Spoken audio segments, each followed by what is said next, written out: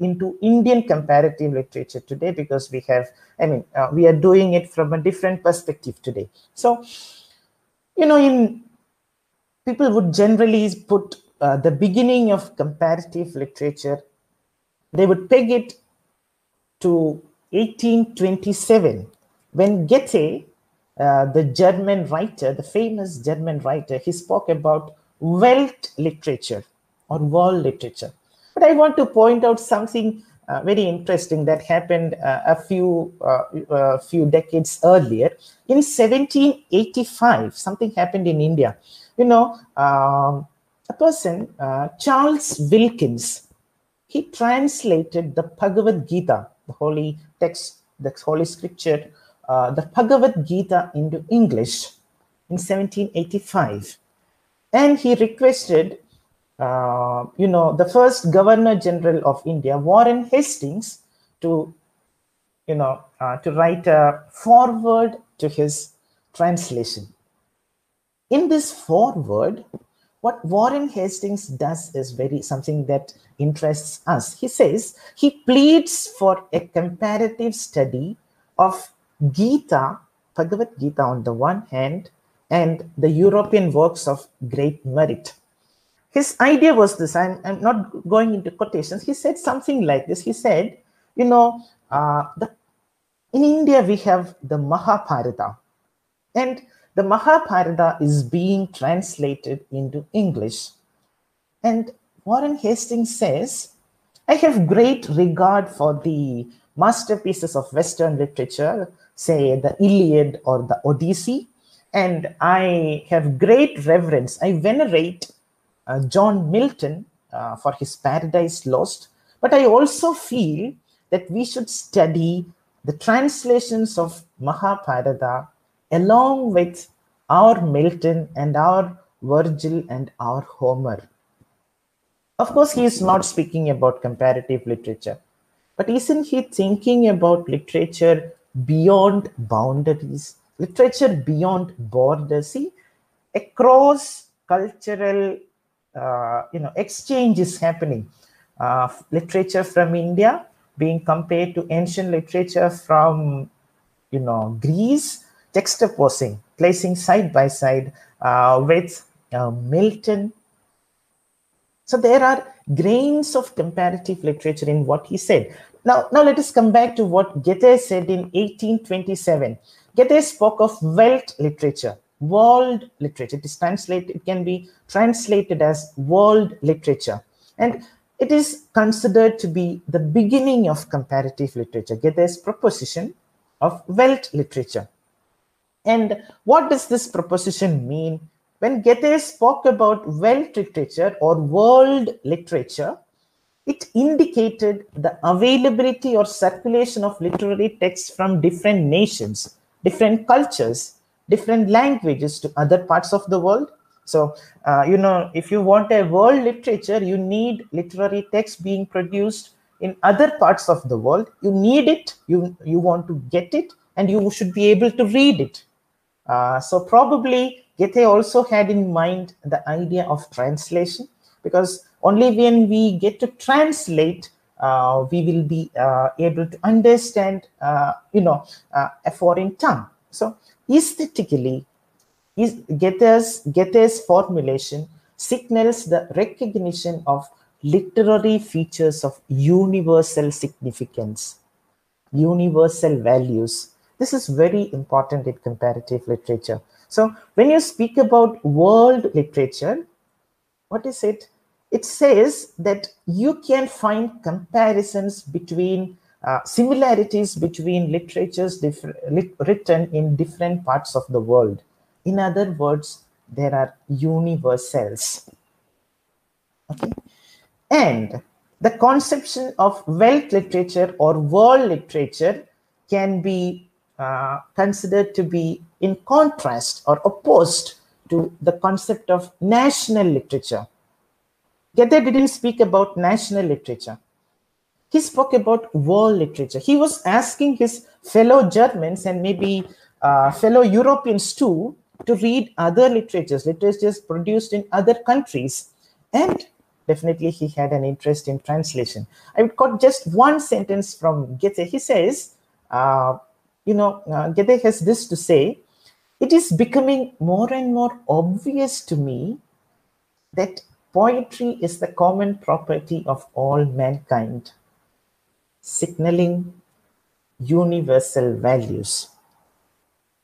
And then in 1848, Matthew Arnold, you're familiar with Matthew Arnold, and he has got something to do with comparative literature. I'm sure you might have noticed when he spoke about touchstone method, there is something, uh, e some eerie connection with comparative literature, or, uh, or when he defined criticism, the function of criticism and the present time, there he defines criticism as a disinterested endeavor to learn and propagate the best that is known and known and thought, the best that is known and thought in the world. So this man, Matthew Arnold, always had this idea of world, world literature, global citizen.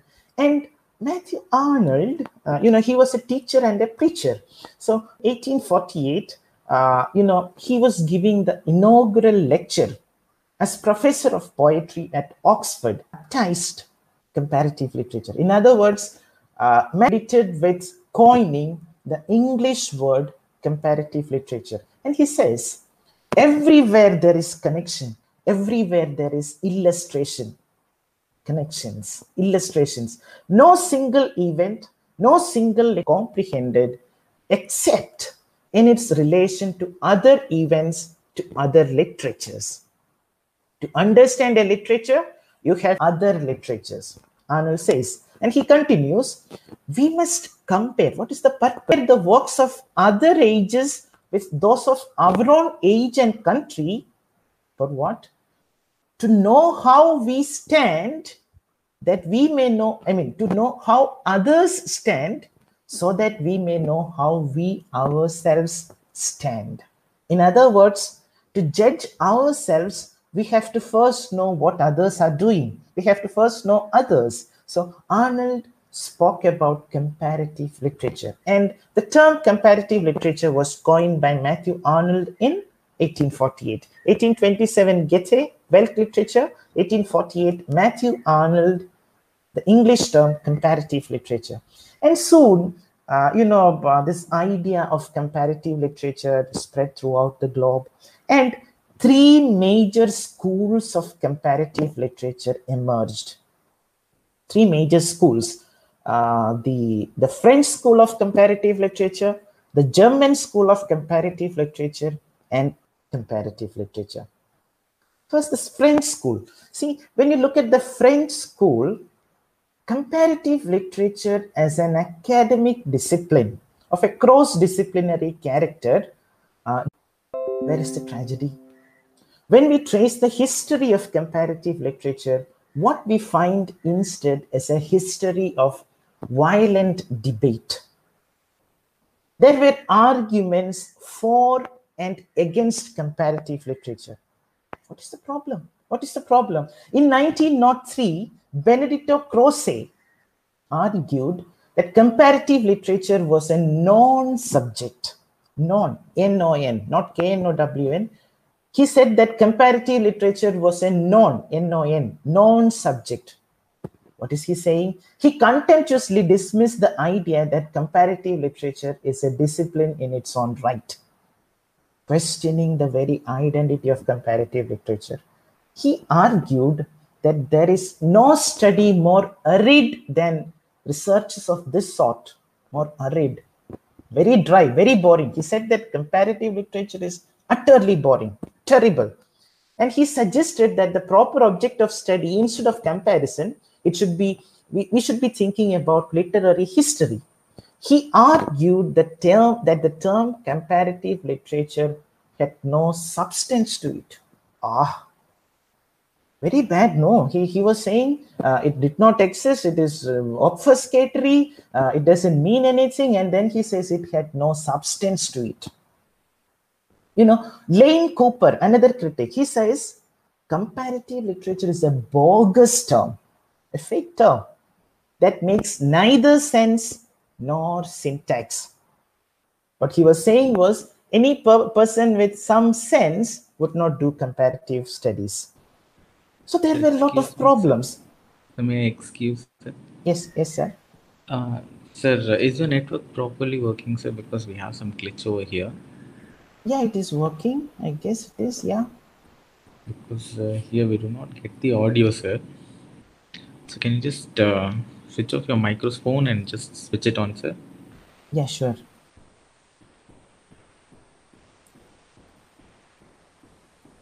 Is it fine? Um, give me a sec, sir. Give me a second, sir. Yeah, sure. I think we can continue. People say now it is clear. Okay, sh- shall I continue? Yes, sir. Yes. sir. Thank you, Okay. sir. Thank you. Okay, so uh, I was saying about two people, two critics who spoke vociferously against comparative literature. Benedetto Croce, who said that comparative literature is a non subject, uh, that it is very dry and that it had no substance to it. And Lane Cooper, who described comparative literature as senseless and syntaxless and as a bogus term. There were many critics in this group who argued against comparative literature. On the other hand, many scholars made very grand claims for comparative literature. Charles Mills Gayley, for example, uh, in the same 1903 that Benedetto Croce said that it was a useless thing, uh, Charles Mills Gayley said that the working premise of the student of comparative literature was a common institutional expression of humanity.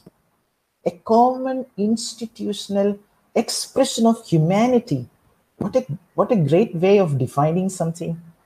And in India in 1907, Rabindranath Tagore spoke about Vishwa Sahitya, world literature, very similar to what uh, Goethe said in 1827, Welt literature. Uh, Tagore says about Vishwa Sahitya, world literature. He contrasts it with Gramya Sahitya, Gramya versus Vishwa, uh, national literature versus world literature. So people like Rabindranath Tagore were supporting comparative literature while some others were saying very bad things about comparative literature. Strong arguments for and against comparative literature. Anyway, so the growth of comparative literature got a little stunted now. Slowly, comparative literature consolidated its position as an academic discipline. Thanks to something that happened in an altogether different sphere in politics. What happened? There was the World War, 1914 to 1918. There was the First World War, and the US President Woodrow Wilson came up with the vision of one world. One world. You know, one world, one literature, world literature. Yeah. So it was uh, this, this vision of one world propounded by Woodrow Wilson helped comparative literature a great deal to establish itself as an academic discipline. Because uh, it, it was something like this one world vision that comparative literature also proposed world literature. You know when we uh, when we look at uh, the history of human civilization we find that such idealistic visions recur whenever there is a major international crisis for example we are right now we are in an international crisis the global pandemic and that has brought us all together. See had there been no corona had there been no pandemic we would never have been together today. Uh, what brought us together a pandemic a- an international crisis so what i'm saying is whenever there is an international crisis in the aftermath of the crisis we will find idealistic visions of unity and oneness, like the one world theory propounded by Woodrow Wilson. Or think about what happened after the Second World War. People didn't want a third world war. They saw all the troubles and all the misery of the wars, two world wars, and they wanted no more war. So the countries of the world strongly vouched for a United Nations Assembly. One World by Woodrow Wilson, United Nations Assembly. in politics. This happened in politics. And at the same time, something happened in comparative literature as well. You know, when people were speaking about United Nations Assembly in comparative literature, you know, two people, Rene Wellek and Austin Warren, in 1949, they came up with a monumental treatise titled Theory of Literature. A very great uh, work in the history of uh, English literature. So, in that book, Rene Wellek and Austin Warren, they actually offered a cultural or literary equivalent to United Nations Assembly. In politics, there was this United Nations Assembly. In culture, Rene Wellek and Austin Warren suggested that we have comparative literature. And this comparative literature can be seen as a cultural equivalent to the United Nations Assembly. What great way of, uh, you know, proposing comparative literature as a great thing. They depicted, Rene Wellek and Austin Warren, they depicted the comparatist as a, a comparison as a vocation and the comparatist as a kind of United Nations ambassador for comparative literature. They said that literature and humanity are one just i mean literature is one just as art and humanity are one and they spoke about both a widening of perspectives and a suppression of local and provincial sentiments. Rene wellek and austin warren suggesting comparative literature as the cultural equivalent of the united nations assembly. What great credit to comparative literature. And then Francois Jost, he said something even more interesting. He said that we should see comparative literature as some kind of world religion. This is what he says. I will quote. Uh, Francois Jost says this uh, comparative literature represents more than an academic discipline. It's not just an academic discipline, but much more than that. He says that it is an overall view of literature, of the world of letters, a humanistic ecology, and uh, a literary Weltanschauung, a literary worldview, a vision of the cultural universe, inclusive and comprehensive, suggesting comparative literature as a kind of world religion. And the underlying suggestion here is that all cultural differences will disappear when a reader takes up great works of art. Here, art is seen as an instrument, as a vehicle of universal peace and harmony. And the comparatist is envisaged as one who facilitates that harmony. So, what a great profession comparative literature comparison turned out to be, in, in the words of these people. And in 1954, you know, I was speaking about Pound as a comparatist. Uh, in 1954, uh, uh, we, we see, we witness the founding of the ICLA, International Comparative Literature Association at Oxford University. Institutionalization of comparative literature, right? So, and Ezra Pound was one of the founding fathers of ICLA, 1954. So suddenly everything is uh, again starting to look very rosy for comparative literature. And it seemed like comparative literature had to just be there and uh, it will grow into one of the greatest disciplines ever. But no, but no, unfortunately, no. Trouble was brewing for comparative literature. In by the 1960s, people started speaking about the crisis of comparative literature.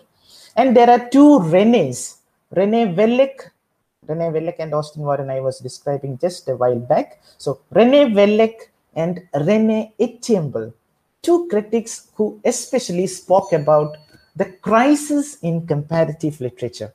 So what was this crisis that they were talking about? The problem was there was a lot of theorizing but nobody was actually doing any comparison. Harry Levin uh, sums up this crisis in, in these words. We spend, uh, quoting, we spend far too much of our energy talking about comparative literature and not enough of it comparing the literature. Lot of practical work i mean lot of theoretical work but no practical action. He was exhorting the comparatists to stop theorizing and do some practical work. This was the crisis okay so this is a tragedy right this is the tragedy of the life and death of comparative literature and in shakespeare's tragedies we find interludes comic uh, interludes I will have a short interlude as well. Something that I want to connect with this lecture, but I want to briefly uh, invite your attention to a particular movement that flourished in the 1950s. The Beat movement. I'm sure you are familiar with the Beat generation of the 1950s. It originally began as an underground anti-conformist youth movement in the US we are familiar with uh, some of the greatest works in uh, beat movement allen ginsberg's howl jack uh, kerouac's on the road. Howl was published in 1956 on the road was published in 1957 and you know the central element of beat culture was a rejection of existing narratives. It was a counter narrative. It was it rejected existing values. And something else was born out of this beat movement hippism. The hippie culture. Uh, you, you know hippism right? Uh, eh, eh, hippism was you know it was a counter-cultural movement that uh, took inspiration from uh, the beat movement obviously uh, it originated in the 1960s it flourished in the 1970s and it uh, died in the 1980s, I guess. So the uh, the movement called hippism. Allen Ginsberg's works were central to the hippie culture. So, what was the central tenets of hippism? They questioned everything. They rebelled against everything. They rebelled against established institutions. They criticized middle class bourgeois values. They opposed the war they opposed, you know, the, they were against uh, America's, uh, you know, war in, in Vietnam. They were against that. And they had some great things to say as well. They said that uh, breastfeeding should be promoted at a time when mothers were, uh, you know, moving away from that. So they had something great, but normally there is a tendency to look at hippism as a very bad a movement. They were uh, they had a lot of things to do with drug abuse and sex and things like that. So we generally consider it as a bad movement. But what i want to say is something else. They were rebellious against institutions values orthodoxy. Uh, they they they considered peace love and personal freedom. They were very uh, adamant that we want our freedom. And they saw the system as something that constrict uh, that suppressed their freedom. They perceived the dominant culture as a corrupt monolithic entity that ex- that exercised undue power over their lives. And the hippie culture spread throughout the world through you know rock folk uh, psychedelic rock the musics you know the blues now, what I want to tell you is this hippie culture that, that came to prominence in the 1960s, hippism comprised mostly of teenagers and young adults between the age of 15 and 25. Young people, 15 to 25. And throughout the hippie movement, many hippie students were threatened of expulsion from universities. Many hippie students were dismissed, you know, suspended and later dismissed from colleges and universities for openly expressing their views. Now, we find a lot of students out of the university, right? Now, I want uh, to take you back to our history of comparative literature. In the 1960s, what happened was high flying graduate students in the 1950s and 60s, high flying graduate students in the West turned to comparative literature as a radical subject. Because they found that comparative literature embodied the very values that they wanted. Trans it was transgressive. It was radical. It crossed all boundaries they wanted to jump out of the boundaries of existing systems. And comparative literature was doing just that. It was crossing all boundaries. It was transgressive moving across the boundaries of single literature study. So these students these youngsters they embraced comparative literature most fondly in the 50s and 60s they were not worried that there was no proper methodology for comparative literature. They, they were not worried about what the critics said about comparative literature, whether the subject were existed or not. They were not worried about any of those things. They loved comparative literature. And so for the first time, comparative literature was having an extraordinary time in the academy. It became a pakka, pakka academic subject. But you know, comparative literature was ill fated. The fault in the stars, maybe. What happened? Just when comparative literature seemed to be making giant strides, flaws in the idea of universal values and of world literature were being explored in all parts of the world. What am I saying? The idea of universal values you know, we moved great waves of critical thought from structuralism uh, to post structuralism and deconstruction, swept through one after the other. And what happened? Earlier, we believed that there was meaning, and uh, a, text has a meaning, and a competent reader, a sahridaya, uh, can reach that meaning if he is if he does something in, in a certain way so the author is the creator of the meaning. Uh, there is an, a fixed meaning in, in the text, and the reader can get that meaning if he is competent enough. This was the traditional belief. But with deconstruction and post structuralism, with these movements, what happened was the idea that we can have a single harmonious reading, this idea was shattered forever. And question of the question, you know, the idea of universals started being questioned. People started questioning the idea of universals, universal values. And if there are no universals, you know, comparative literature is in deep trouble. So this is what happened. So these theories came and comparative literature was overshadowed the very foundational principles of comparative literature were proved wrong by these theories. And what happened? 1967, you know what happened. Uh, Derrida presented structure, sign, and play in the discourse of the human sciences. Uh, he published three books, one after the other, uh, translated famously by Gayatri Chakravorty Spivak.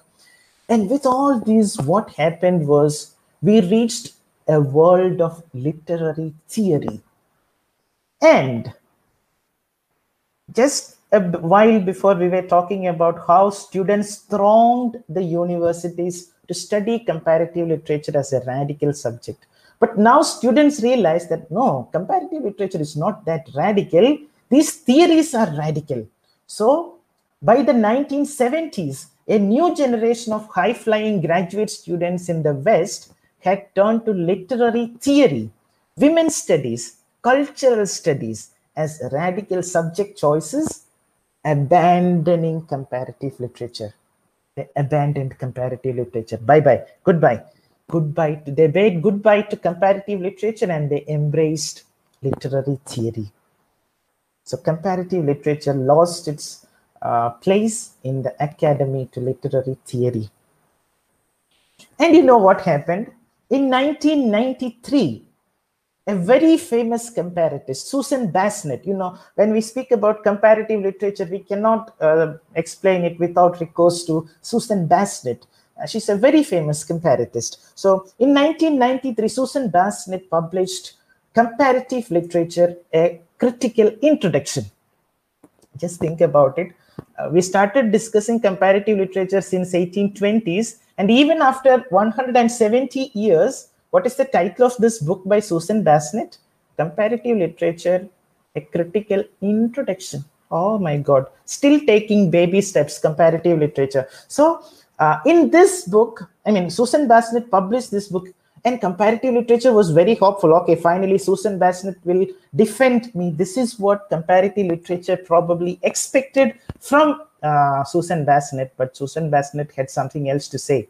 She wanted to discuss the troublesome relationship between comparative literature, literature and translation studies.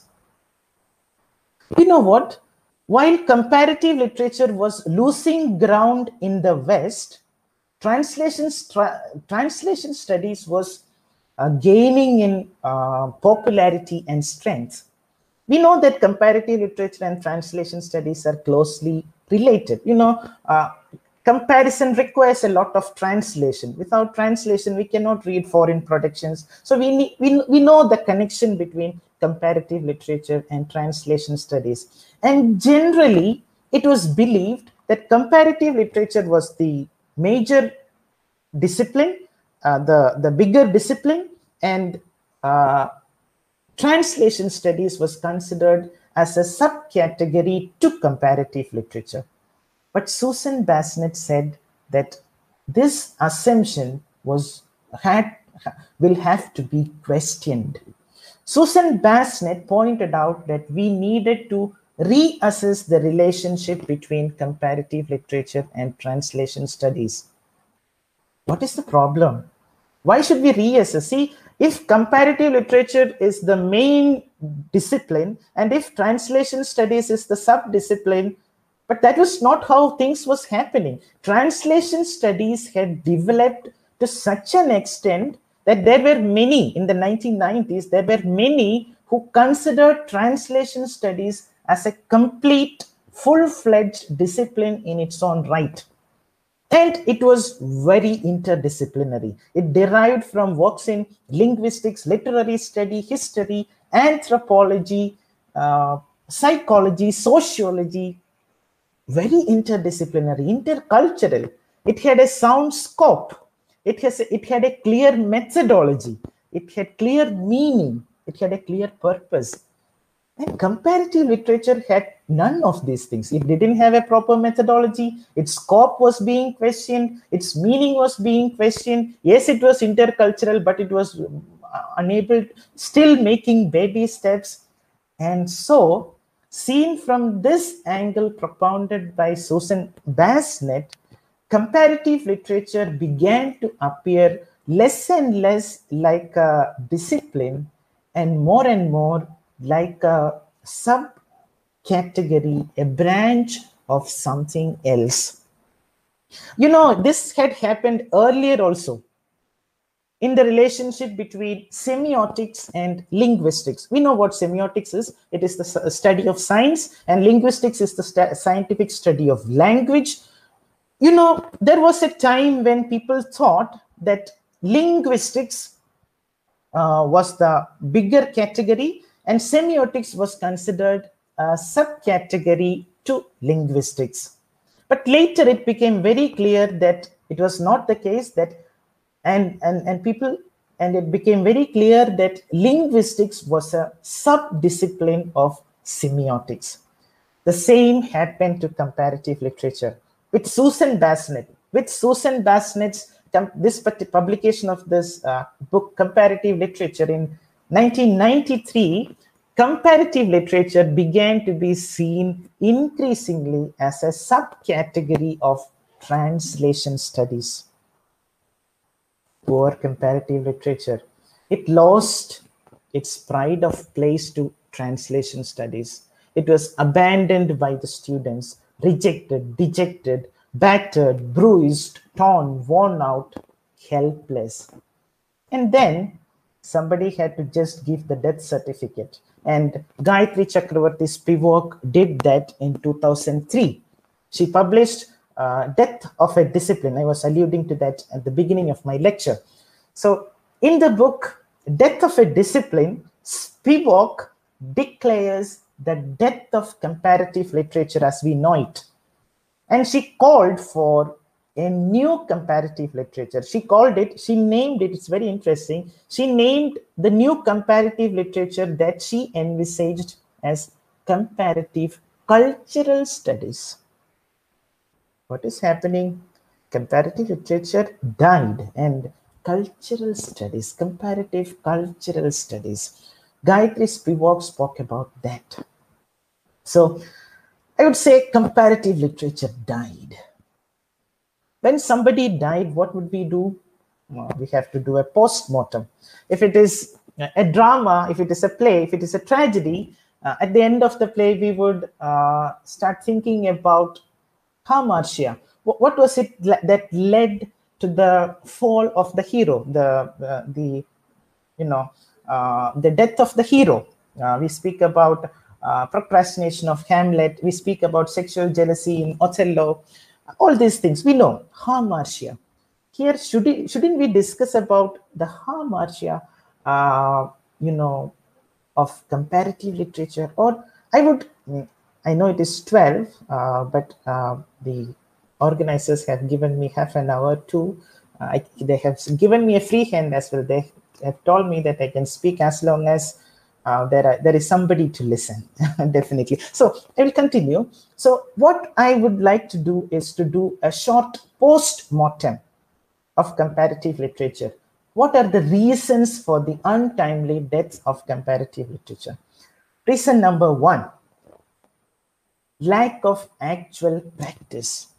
I explained it earlier, what Harry Levin said, comparative literature only paid lip service to what Goethe said. They never practiced what they preached.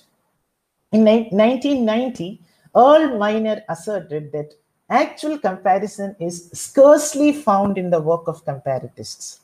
And even he says that, I'm quoting, comparatists do not talk about comparison. Just imagine. So there was no actual practice of comparison happening. This is one reason for the death of comparative literature. Second, second, my second point is lack of a proper definition of its scope. Scope of comparative literature. As we know, comparative literature shared space with many other disciplines. It, it is very interdisciplinary. And because of that, uh, you know, whenever a comparative literature syllabus was being devised in a university, that, I'm sorry, that syllabus uh, would be drawn by scholars from different departments, not just English department, not less uh, cultural. Scholars from different departments would draw the syllabus uh, of comparative literature. So this eclecticism, drawing sources, drawing from different sources, deriving ideas from different sources has led critics to argue that comparative literature is not well defined, that comparative literature is ill-defined, insufficiently defined, and that comparatists will fall, comparison, comparative studies will fall into dilettantism. Dilettantism. A dilettante is a person who uh, is interested in, who seems interested, but who is not very interested, who doesn't, who is very shallow. So comparative literature was accused of shallowness because of its interdisciplinary nature. The third reason for comparative literature's death, lack of a proper methodology and purpose. You know what happened? The methods and aims of comparative literature have neither been unanimously accepted nor been spelt out. The comparatists adopt various methods. Some of them find out similarities between works. Some of them find out differences between works. And some of them found out both similarities and differences. And there entered comparison. Is that comparative study? No we have to, yes, we will find similarities and differences when we do comparison. But a comparatist should not have stopped there. He should have asked the questions why and how. Why are there such differences? Why are there such similarities? When you compare a, uh, a Malame uh, people as diverse as Mallarmé with, say, Emily Dickinson, you will find a lot of uh, similarities. So you have to ask the question. Just finding the similarities is not sufficient. The comparatist has to ask the question, why? But this was not done by comparatists. So this lack of a proper methodology and purpose affected comparative literature. And my fourth point would be that comparative, the death of comparative literature was caused by the pressure exerted by vocational courses in the curriculum. I'm sure you will understand this vocational courses. You know, uh, parents, students, all of us want job oriented courses. And comparative literature is a job oriented. There, there was nothing about job orientation as far as comparative literature is concerned. There was no uh, vocationality in comparative literature. And, you know, in, in, in literary in, in studies, comparative literature was squeezed on the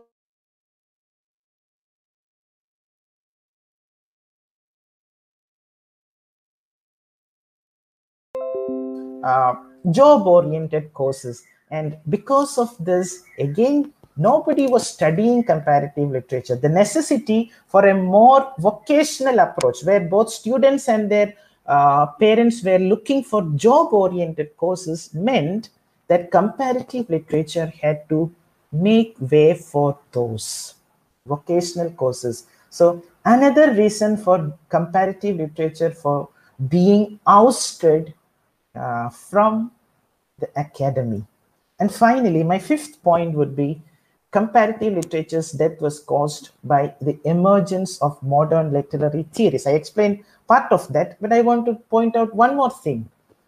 I want to speak about the, the impact of post-colonialism very briefly. You know, one of the seminal texts of post-colonialism uh, written by three people, Griffith, uh, Griffiths, Tiffin, and Ashcroft, The Empire Writes Back what is the subtitle of that work? Theory and Practice in Post-Colonial Literatures. Now let me ask you a question. Which discipline studies literatures? Comparative literature, right? And post-colonial studies, uh, you know, uh, this seminal text of post-colonialism is subtitled Theory and Practice in Post-Colonial Literatures mm, encroaching into the sphere of comparative literature. And in that book, uh, these authors, they say that the term post-colonial is most appropriate for the new cross-cultural criticism that has emerged in the recent years.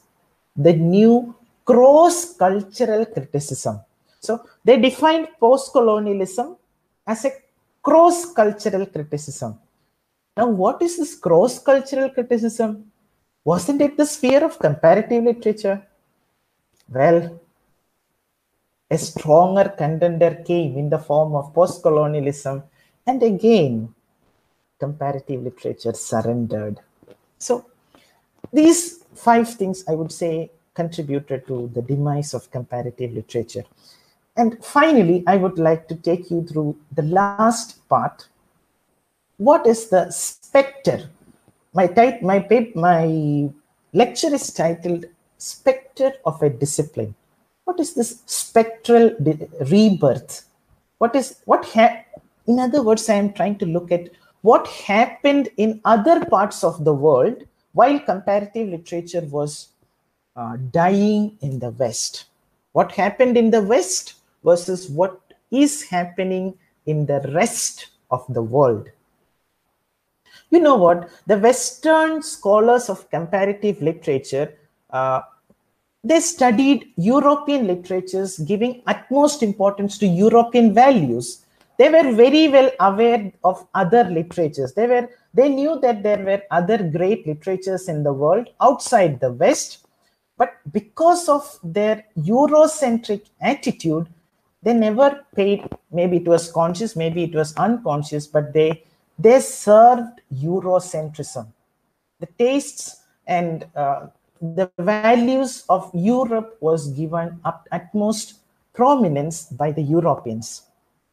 And one of their prominent motives in literary study, in comparative study, the, one of the major motives of Western scholars was to establish the supremacy of Western culture over other cultures. You know what? We know about African culture, Asian culture, the Middle Eastern culture, uh, literatures, African, Indian, uh, you know, mm, Asian literature, East Middle Eastern literature. They were all studied, maybe. If at all they were studied, they were relegated to the rubric of area studies. They weren't even given the pride of place of literary studies. The literature from Asia, Africa, Latin America, Middle East, all these literatures were relegated to area studies, not literature studies. The European literatures were understood as the, as the, you know, touched on as the great masterpieces of literature, as canonical, as aesthetic, and promoting universal values, while the texts from the non-West, from other parts of the world, were read more from an ethnographic, historical, anthropological perspective than as works of literature. It was very bad of them, right? So I would like to draw your attention to the just the title of a 2003 article uh, written by Ipshita Chanda. She, uh, her title is can the non-Western comparatist speak? This is what I want to ask. Can the non-Western comparatist speak? The birth of the rebirth of comparative literature in the East, in other parts of the world, it happened because of this question. Com the non-Western comparatist started speaking. And the specter of comparative literature took rebirth. What happened? Ganesh Devi, G.N. Devi, he says, the idea is to challenge the unconscious colonial desires of the West. He says, the unconscious colonial desires of the West, what, what does that do? Which perpetuate a situation where no Indian critic is taken seriously in Western literary circles. Whatever the Indian critics say, not accepted because they are just area studies, uh, not worthy of any attention. This was the way the Eurocentric Western man considered the Indian critics, says Ganesh Devi. And in 1998, Susan Bassnett uh, said something very interesting. She said that the objective of comparative literary studies is to undermine and undo the tendency of dominant cultures to appropriate emergent ones. Think about it.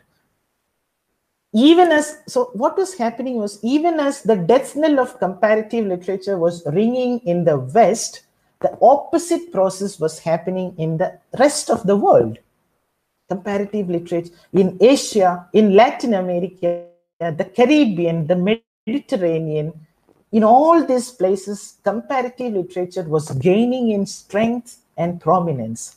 Comparative literature began to feature prominently in the syllabi of literary studies in the universities in all other parts of the world except the US and the Europe.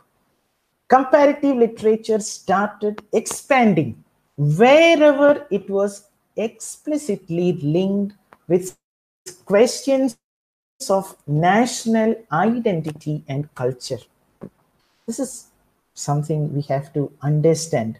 You know, the original idea of comparative literature was as world comparative literature, as world literature, as against national literature. And the Western comparatist was always against the idea of national literature. They were speaking about world literature. They spoke about it, but they gave importance to European interests that we know. Anyway, so comparative literature expanded in all other parts of the world, not by focusing on world literature, but by focusing on national literatures. Okay, so the idea is not of universalism. It's not universalism. Rather, it focused on something that the Western critics opposed vehemently. Always they were against this, the specificity of national literatures. You know what? Swapan Majumdar, the Indian critic, says it is because of this predilection for national literature that comparative literature has struck roots in the third world nations and in India in particular. Because of the special liking for national literature, comparative literature has flourished in the third world countries and in the in countries like India. This is what Swapan Majumdar says. Exact opposite of what the comparatives said earlier. We should be against national literature. They said comparative literature is against national literature for the West, but in the East, in India, Swapan Majumdar says comparative literature take took roots in third world because it was rooted in the interest in national literature. Ganesh Devi says something else. He says he suggests that comparative literature in India is directly linked to the rise of modern Indian nationalism. The nationalist feeling in India. He notes that comparative literature has been used to assert the na- national cultural identity so comparative literature is used by the critics from other parts of the world not to assert any universal values, not to assert the supremacy of European culture, not to assert any world literature, but to give importance to national cultural identity. At once it seemed incompatible, but the Indian critics, the Eastern critics made it possible the shift in perspective is clearly evident. Earlier, comparative literature started with Western literature and looked outwards. Comparative literature, the West would use comparative literature as a lens to look at the outside world. Now, what is happening is the West is being scrutinized from without the West is being scrutinized from outside. It's very interesting. I will give you a few instances. You will find it very interesting. Swapan Majumdar goes to the extent of calling English, French, and German literatures as subnational literatures. You know, uh, Ganesh Devi had said that you know they didn't give any importance to Indian critics. Swapan Majumdar went on to call those critics, the German, the French, and English literatures as sub-national literatures, not even national literature. Think of the courage, the boldness uh, with which the Eastern comparatists uh, were speaking. In Africa, you know, uh, the African writers led by Wole Soyinka questioned Hegel's notion and negation of Africa from history and civilization. I'm not sure if uh, you are familiar with this idea, but Hegel wrote a book in 1899, Frederick Hegel, titled The Philosophy of History. And he spoke about four major cultures and civilizations of the world. Curiously, he excluded African culture. He, he didn't consider Africa as a African culture as a culture or a civilization. Hegel argued that Africa was unhistorical, that it did not have a history, that it was weak, undeveloped, that it was devoid of morality, values, religion, politics. In effect, Hegel was telling the Africans, you have no culture, you have no history. How painful it would have been for the African to listen to this. He denied Africa a history and culture. Hegel is important not because his ideas are correct, but because he represents the perception of a white European intellectual about Africa. The African writers pointed out that there were two Africas. One created by the Eurocentric lens of the West, and the other, the real Africa, if we can call it real or the one invented and imagined as the other by the West, and the second, the real one that survives regardless of the misconceptions and denigrations of the West. So, two Africas. Wole Soyinka won the Nobel Prize for Literature in 1986. You know, he was the first Black African to win the Nobel Prize for Literature.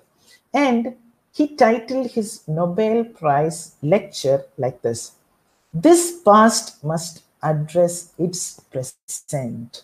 This past, this past, the past created by Hegel and the other Europeans, must address its present, must rectify the wrongs that you have committed towards us.